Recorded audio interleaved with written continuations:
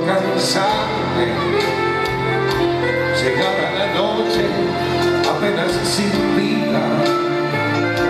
Y al ver nuestra casa tan sola y callada no sé lo que haría.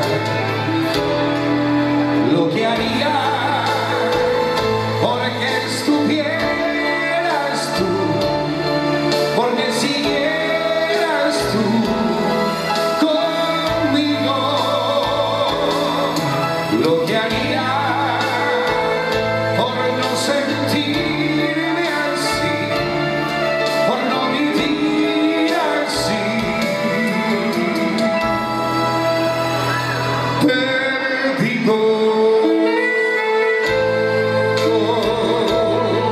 estar haciendo de esta una gran fiesta.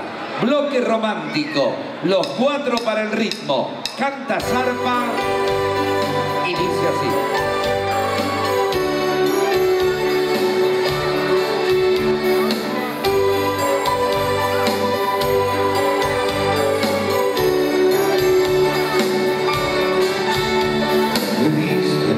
Árboles tu fe que jugaba con el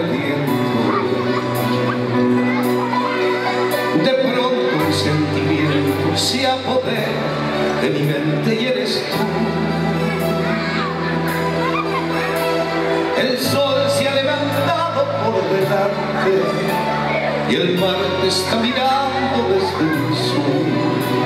Te de repente el horizonte es tan distante como tú.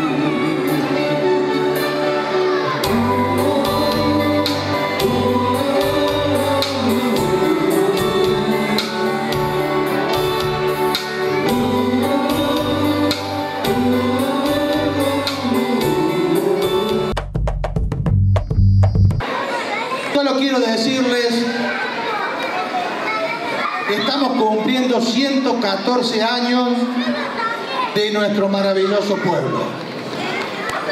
Y esto no es una casualidad. Esto, este bienestar que estamos disfrutando nosotros ahora, tiene mucha historia. 114 años, imagínense. Nuestros abuelos, nuestros padres, nuestros bisabuelos en alguna oportunidad, y en algún caso.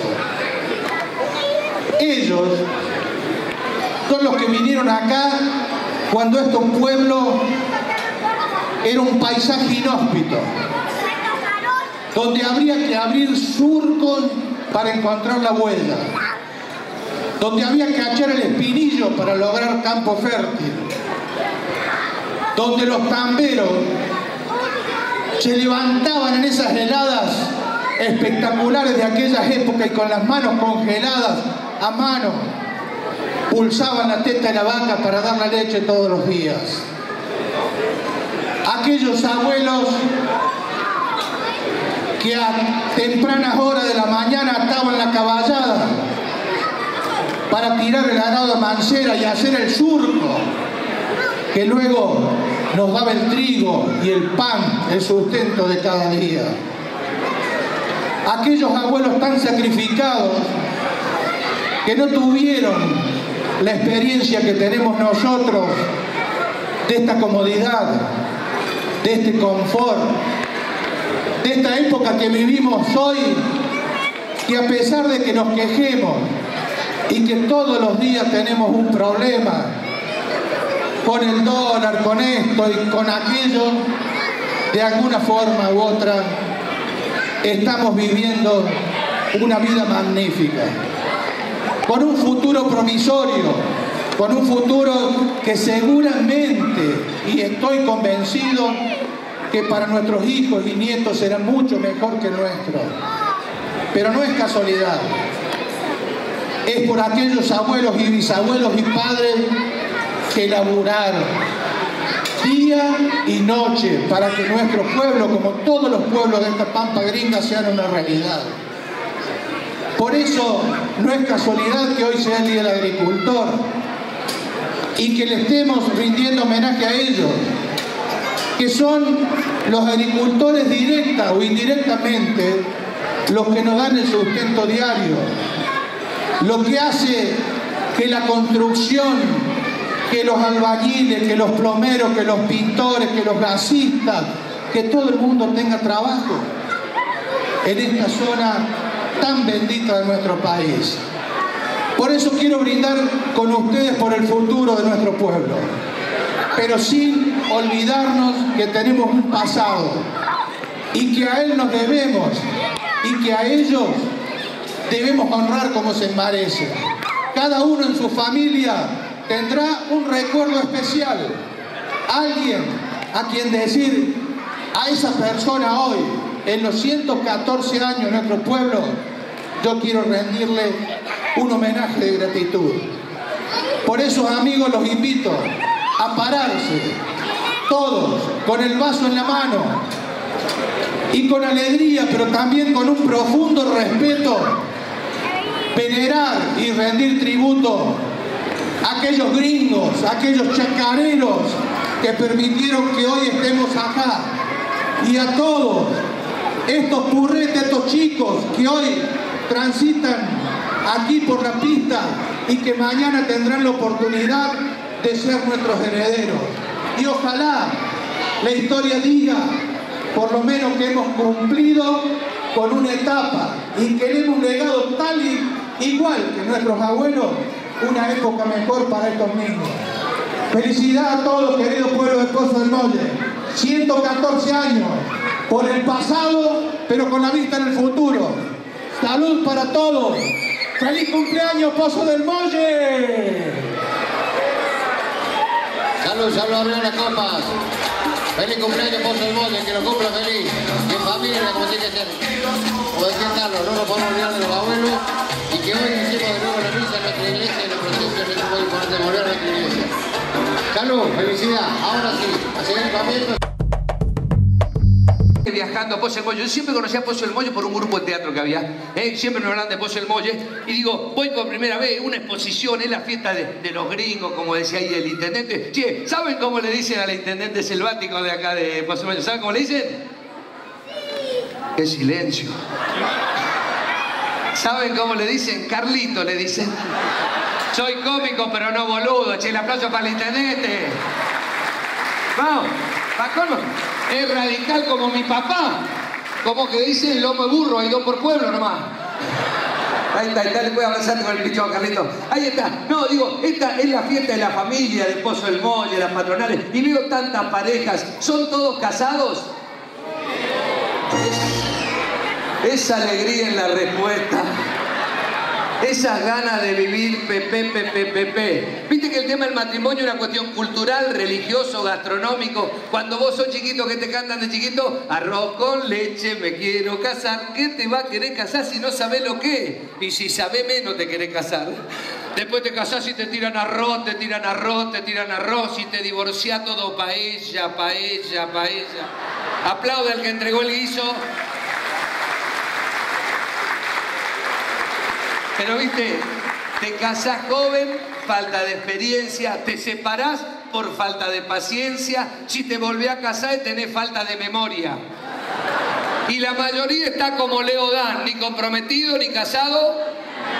Pero hay gente que se casa, se encuentran dos amigos en la calle, uno dice al otro, ¿sabés que yo me casé por civil? El otro dice, yo me casé por Gil. Hay gente que dice que el matrimonio es una lotería, hay otro dice que no, porque la lotería a veces se gana. Está lo que opina que el hombre soltero es un animal incompleto y está lo que dice que el hombre casado es un completo animal. Las mujeres opinan, a ver si las damas coinciden conmigo, dice que para vivir dignamente el matrimonio necesitan de cuatro animales fundamentales. Un jabón en el garaje, un billón en el placar, un tigre en la cama y un ganso que las mantenga. El aplauso, chicas, si están. Están de acuerdo. Y a veces un burro que trabaje también. Sin embargo, los hombres opinamos que las mujeres son como la campera de cuero, cada vez más arrugada y te dura para toda la vida. Apláudanlo, no me dejen solos, vamos chicos. Vamos que hoy con el feminismo estamos Está bien. Yo siempre digo lo mismo. ¿Qué seríamos los hombres sin las mujeres? ¿Qué seríamos? Y maricones aparte. Imagínate, ¿viste? Viste que somos especiales los hombres. Primero nos gustan todas, después nos gusta una, después nos gustan todas menos una. Somos así y la echamos de menos. Viste que nosotros siempre hacemos temporada en Carlos Paz. Este verano veía el porteño que paró el taxi. ¿No es más? ¿Cuánto me cobraba ir al cucú? 100 pesos. Y con mi esposa lo mismo. Y se viste vieja, no vales nada. No, por favor. ¿eh? Y la mujer vale, por ejemplo, cuando tiene. La, la, mujer cuando tiene la plata, viste, se hace valer, ¿eh? Y cuando tiene el poder, pues ni te cuento. Hay algunas que tienen el poder y no lo quieren dejar nunca. Ya pasó. Ya, no, no, está, ya está, ya está.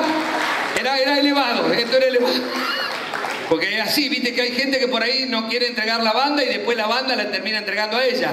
Esa es otra cuestión. Ya está, ya pasó, fue por arriba, no importa. Lo van agarrando. Después vamos a hablar política, tranquilo.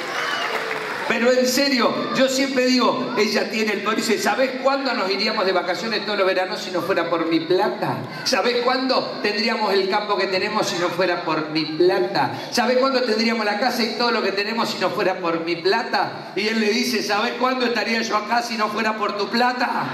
El aplauso para todas las mujeres, ahí va. Qué lindo, qué lindo. Vamos, Mirá, y a mí me gusta meterme acá, paso rápido. A ver con la gente, ¿qué tal? Buenas noches, ¿cómo le va? ¿Cómo anda la mesa? ¿Cómo es su nombre? Alberto, ¿dónde sos Alberto? ¿De dónde sos? De Car Carrilobo. Conozco qué linda plaza, qué linda iglesia, la calle San Martín, qué lindo. Fuerte aplauso para Alberto Carrilobo. Mirá, la gente que viene de todos lados. A ver, de este lado. El amigo, ¿dónde viene usted? ¿De dónde? Irizarao, San Luis, conozco qué linda plaza, qué linda iglesia, la calle San Martín. No, no, pará que el otro día, no, no, pará. Había gente de bandera Santiago del me cagaron de chiste porque no tiene plaza en el pueblo, ¿eh? Así que no se crean, no. Buenas noches, ¿dónde usted, caballero? De Pozo el Mollo, viene gente de todas partes a verme a mí. ¿eh? ¿Cómo es su nombre? Marcos, ¿estás casado? ¿Cuántos años casado? 48 años casado para Marcos, fuerte el aplauso. No vienen más, no vienen más de eso. 48 años casado, Marcos. ¿Tu señor la que está al lado? ¿Cómo es tu nombre? Marta, son la número uno. Qué bárbaro, Marco. ¿Qué tal es Marta Marco para los regalos? ¿Qué tal es? La cara lo dijo todo. No, Marco, porque tengo un amigo que a los 25 de casado le regaló un viaje a Japón a la señora. Digo, a los 50, ¿qué vas a hacer? Y se la voy a buscar, me dijo. El aplauso para Marco y Marco. 48 años de casado, no vienen más. ¿Eh? Vos fíjate, el espectáculo lleva un nombre, nosotros le pusimos Yo soy la risa prometida. ¿Vieron a Yo soy la, y la tierra prometida? ¿Lo vieron en Telefe? ¿Lo vieron? No, yo no lo vi. Pero viste que el galán tiene barba y digo, yo tengo barba. El galán tiene pelo, digo, yo tengo barba.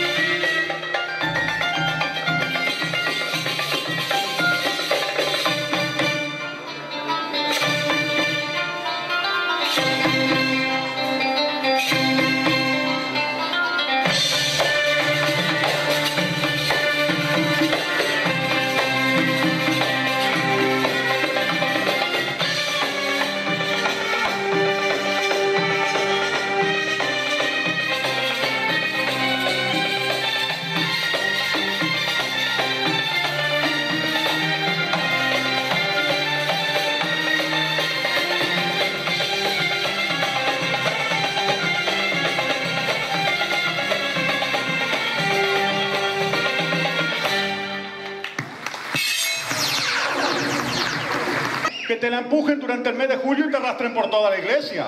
No es lo mismo. Y el gallego caminaba así. Hombre, ¿qué te ha pasado? He ido al médico. ¿Y por qué caminas así? Es que tengo colesterol. ¿Y eso qué tiene que ver? El médico me dijo, los huevos ni tocarlo. Venían dos gallegos cursando la plaza y pronto una paloma la adorna uno en el hombro se y dice el otro, Manolo, no tienes papel higiénico. Y dice, ¿para qué quieres si ya voló?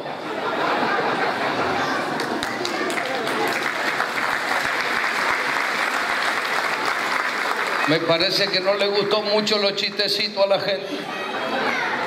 Marco, ¿cómo le va Marco? Te vino a la cena, vino a ver yo sé y la risa prometido. Esto es lo que hay, Marco.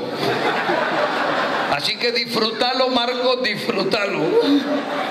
Y al resto del público, la gente no quiere pensar. La gente viene a la, cena de la exposición, de la, la patrona le puso el mollo, no quiere pensar. A la gente le vamos a aplicar los chistes para que se ría. Con lo cual... No vio nada. Claro, bueno, porque si no decía, el mago es un tramposo. Quiero que veas que en realidad son diferentes. Se puede ver aquí, miren, luz aquí. Son rojas y negras, quiero que vean todos. Cartas rojas y ah. negras. Cartas de póker, rojas y negras. Karina, te voy a pedir que nombre cualquier carta que te guste. Cualquier carta. ¿Cuál? Tres corazones. ¿Vos sabés cuál es el corazón? la carta roja. Sí, bien, perfecto. Eh, claro, pero pueden decir ustedes y el mago está haciendo trampa porque tiene la carta plegada y escondida debajo de la uña o algo, porque los magos sí, somos tramposos. Ahora, Canela, te voy a pedir, por favor, por revisar mi mano izquierda, ¿hay algo allí? A simple vista no, pero fíjate el tacto, vos tocas mi mano. Pasa, pasa entre los dedos. Revisa, Carla. Sí, sí, totalmente. Parece mío está aprovechando. ¿Hay, ¿Hay algo en mi mano izquierda? Nada Acá, tío, tío. Ya, saber que no hay nada tampoco. Ninguna de dos nada. Y Karina elegiste una carta libremente entre el 52 de la baraja que es el 3 de corazones. Fíjate bien. Te vas a colocar aquí para ver, para apreciar esto, ¿eh? Atención, toda la magia. Voy a tomar el vaso de esta manera, voy a hacer un corte. Un corte exacto, con una sola mano. Y así, y sale una carta hacia el costado. Y si hago así, esta carta viene volando. Y es exactamente el 3 de corazones. aquí está cualquiera de estas cartas que están aquí. Ahora es claro, te voy a pedir, eh, ¿me vas a ayudar? ¿Podés ayudar vos también? Atención, me va a ayudar aquí. También le vamos a pedir, por favor, que hagas lo siguiente. Te vas a colocar aquí y vas a seleccionar cualquier carta que te llame la atención, querido. Cualquier carta que te llame la atención. Hay cualquier carta que te llame la atención.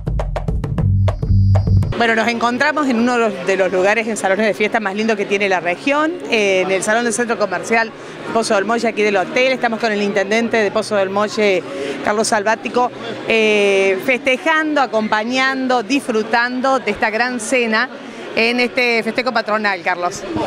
Realmente agradecido a la gente de Pozo del Molle y la región que se ha dado cita esta noche, una inmensa cantidad de gente que colma este salón con un espectáculo eh, que nos ha hecho divertir mucho y bueno, con el espíritu siempre en alto, eh, como decía hace un rato, ¿no? A pesar de todos los avatares que nos interpone la vida, eh, estamos vivos y soñamos, cosa que no es poco, ¿no? Soñamos en un futuro mejor, fundamentalmente para las personas como yo que ya han un poco pasado el punto y coma de la vida, como decía Cacho Castaña, pero lejos del punto final.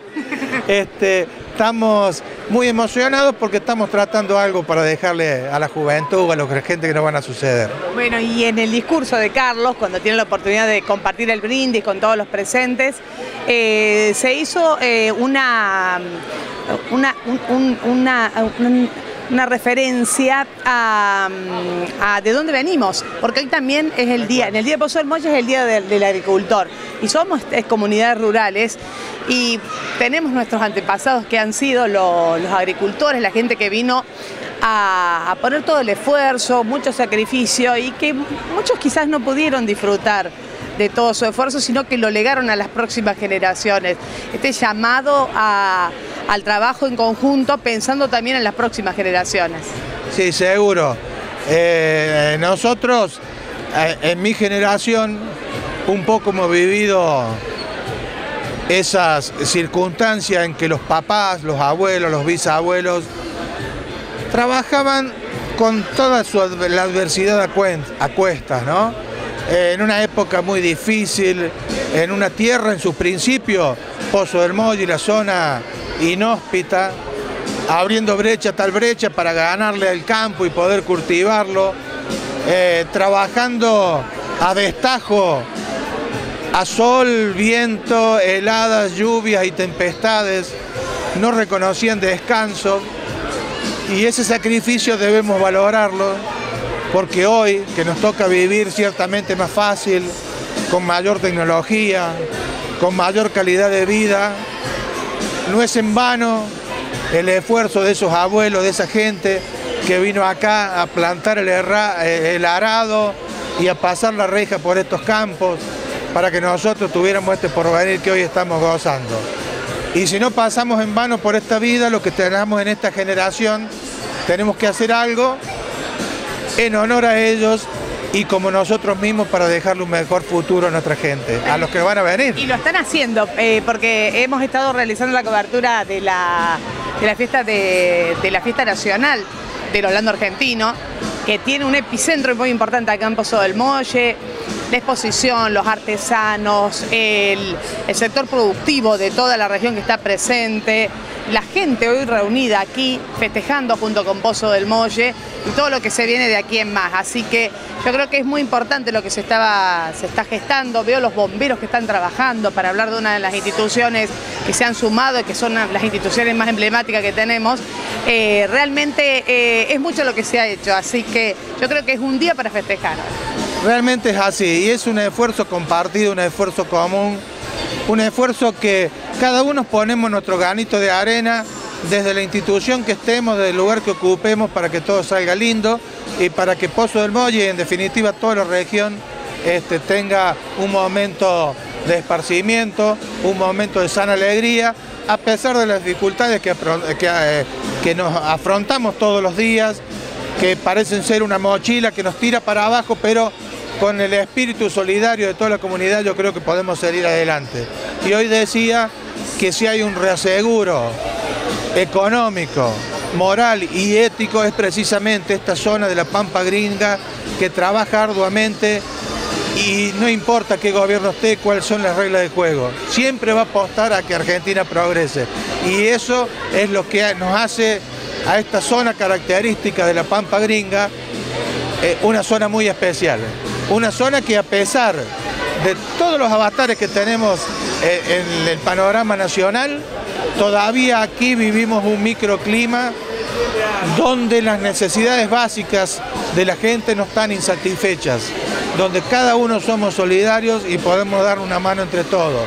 Y la riqueza de lo que más tienen cae como una cascada hacia abajo, de tal forma que me enorgullece decir que en nuestro pueblo, y creo que en todos los pueblos de la región, si uno precisa un albañil, un plomero, un pintor, un electricista, una mano de obra de un obrero, tal vez tenga que esperar mucho tiempo.